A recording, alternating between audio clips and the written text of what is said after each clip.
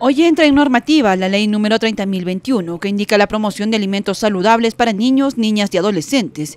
Asimismo, el reglamento aprobado por Decreto Supremo número 017-2017, cuya finalidad es mantener advertido al consumidor en los alimentos procesados, exactamente en la cantidad de sodio, azúcar y grasas saturadas, a través del uso de unos octógonos. Tiene la fecha quedó el 17 de junio para que ellos este, tuvieran ya... Eh, la facilidad de poder ya imprimir sus este, etiquetas ¿no? de los productos industrializados, dependiendo del producto que contiene, si es alto contenido en azúcar, en sal, grasas trans.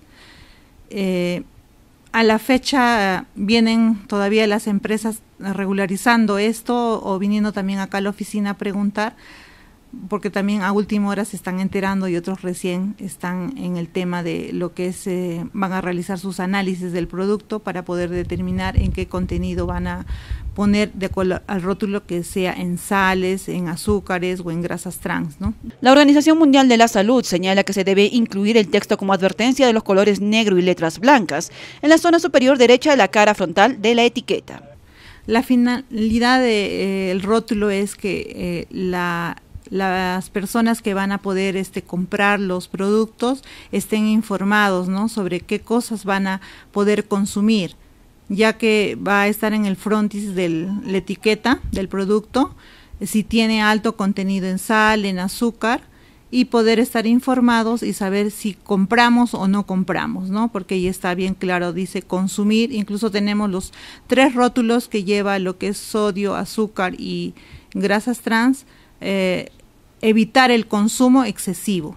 Debe ir con ese rótulo cuando lleva los tres octógonos.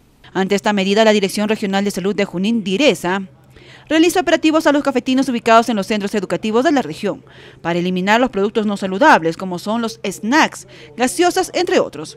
Asimismo, exhorta a los directivos y padres de familia a fiscalizar estos puestos de venta. A los padres de familia en las escuelas que se está expendiendo, hay mayor alto consumo de lo que son azúcares por las golosinas que consumen los, los niños, ¿no?